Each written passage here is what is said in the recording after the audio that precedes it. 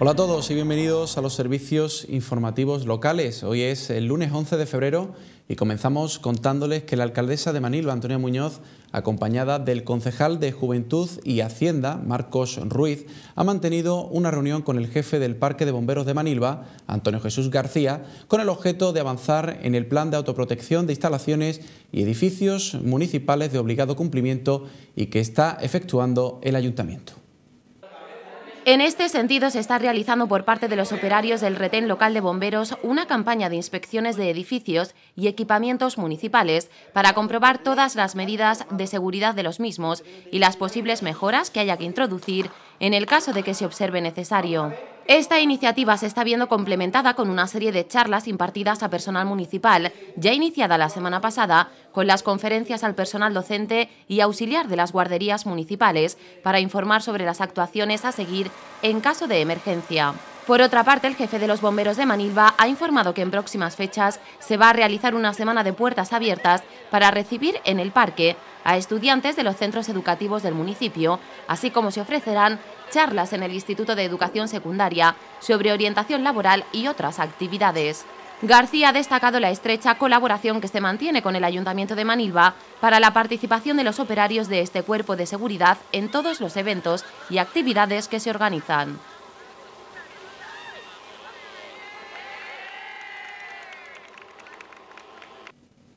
Continuamos con otras noticias. Hoy lunes las delegaciones municipales de infraestructuras y obras y la de promoción e imagen han comenzado los trabajos de remodelación de varias zonas de la localidad gracias a la puesta en marcha de la Bolsa de Trabajo de Emergencia Social creada a finales del año pasado. En este sentido, según ha explicado la alcaldesa Antonia Muñoz, hoy han comenzado a trabajar siete personas de esta bolsa, creada con carácter temporal, con los créditos destinados inicialmente a la paga extraordinaria de Navidad de los cargos políticos del consistorio que se destinaron para tal fin. De esta forma, casi 40.000 euros servirán para contratar de forma escalonada a una treintena de personas en situación de emergencia social por diversos periodos de tiempo que en ningún caso superarán los dos meses. Las bases de las contrataciones fueron consensuadas por toda la corporación municipal. El concejal de Infraestructuras, Mario Jiménez, ha explicado que las primeras labores a realizar serán varios trabajos menores y reformas interiores en el monumento del castillo, varios arreglos en el pabellón de los deportes y la remodelación de lo denominado Salón Verde también en el castillo. Por su parte, el concejal de Parques y Promoción e Imagen, Antonio Parra, ha explicado que los trabajos en el Salón Verde, que discurre paralela a la calle Cristóbal Morales, constituye un pasillo de 3 metros desde el castillo al puerto de la Duquesa, donde se instalará hormigón impreso, nuevo mobiliario urbano y se creará una rotonda de descanso con preinstalación de alumbrado público. Parra ha destacado además que se efectuará una mejora y embellecimiento de toda la zona verde con nuevos árboles y plantas. Y hablamos ahora del éxito de la fiesta benéfica a favor de Vanina. Más de 100 regalos donados por empresas y algunos particulares de la localidad que han querido sumarse a esta causa. Además, se vendieron más de 250 entradas. La Delegación de Bienestar Social ha mostrado su satisfacción y su agradecimiento a todas las personas que han colaborado en este evento.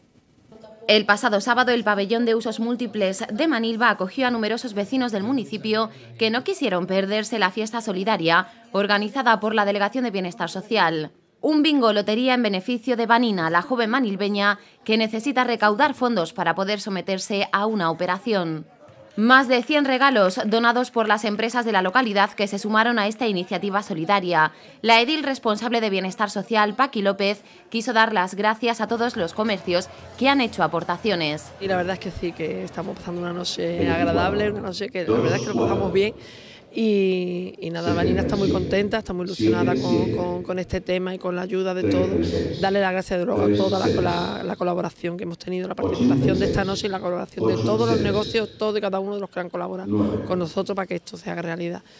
La alcaldesa de Manilva, Antonia Muñoz, también quiso aportar su granito de arena en este bingo solidario y estuvo participando en este evento, al que también asistieron varios miembros del equipo de gobierno, como Eva Galindo y Mario Jiménez, quienes además tuvieron la suerte de cantar bingo.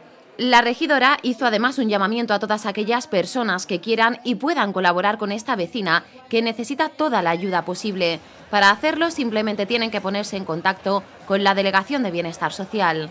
Un día muy especial para Vanina y desde luego yo lo que quiero es agradecer la colaboración de todos los comercios que han colaborado con la Delegación de Bienestar Social, que la verdad es que es una idea fantástica la que ha tenido Paqui López a través de Asuntos Sociales y su equipo. Y bueno, aquí tenéis toda la gente de Sabinilla, de Manilva que han querido colaborar y están aquí. Desde las 10 de la noche y hasta pasadas las 2 y media de la madrugada se repartieron numerosos regalos. Cabe destacar que ante la cantidad de obsequios donados por las empresas locales no pudo hacerse entrega de todos y la delegación ha informado que volverá a organizarse otro bingo lotería para repartir el resto de premios.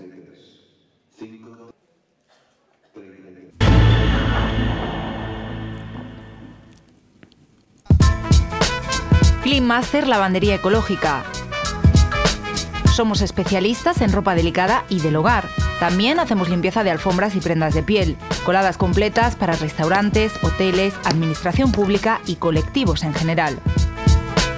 Podrá encontrarnos en la Plaza Ginebra, local 7 en Sabinillas o en el número de teléfono 952 936870. Clean Master, lavandería ecológica de toda confianza.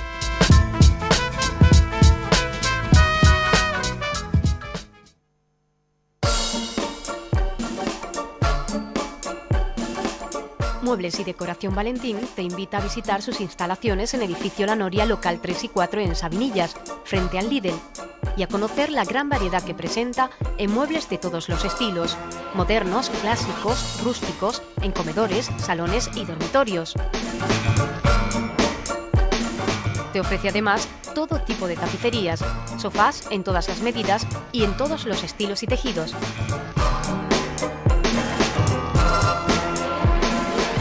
Para el mejor descanso, colchones de viscoelástica, látex y muelles de gran calidad, con todo lo necesario para vestir tu cama. Almohadas, cubrecolchones, nórdicos, sábanas o colchas. Toda la decoración para tu hogar en Muebles y Decoración Valentín. Cocinas, cuadros, jarrones de flores, lámparas. Puede contactar con nosotros en el teléfono 952 89 2635. En Muebles y Decoración Valentín, hacemos realidad tus sueños.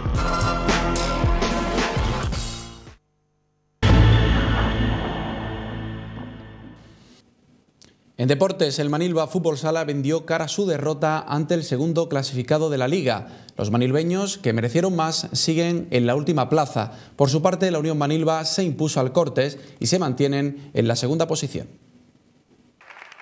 En la Tegua sufrió para llevarse los tres puntos del pabellón de las Viñas, pero finalmente se impuso por un tanto a dos al Manilva.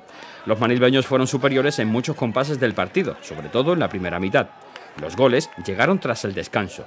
Se adelantó el conjunto local gracias a Francisco Castillo, que empujó a la red un buen pase de Hijano. Los visitantes, liderados por Pablo con un gol y una asistencia, consiguieron dar la vuelta al marcador y situarse a un punto del líder. Con esta nueva derrota, el Manilva continúa en la última plaza a pesar de mostrar síntomas de mejoría cada semana. Por su parte, la Unión Manilva se mantiene en la segunda posición tras su cómoda victoria ante el Cortes por cuatro goles a uno. Para los locales marcaron por partida doble David Floria y Carenote. El Junquera, que también ganó, mantiene su colchón de cinco puntos con respecto a los manilbeños. El fin de semana nos dejó estos otros marcadores.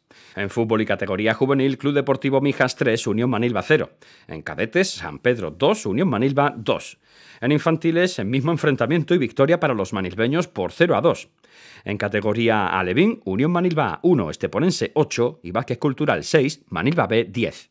En categoría Benjamín, Unión Manilva 2, Laurino 0. Y en prebenjamines, Unión Manilva 1, Las Lagunas 2.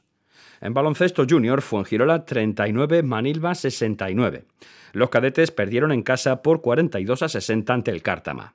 En cadete femenino, dos victorias este fin de semana, ante la Laurín de la Torre por 56-20 y ante Salliver por 55 a 26. En infantil femenino, San Estanislao 41, Manilva 23. En minibásquet, Manilva A 70, Torremolinos 22 y Manilva B 64, Nerja 19. Por último, en preminibásquet, Salliver 39, Manilva 69.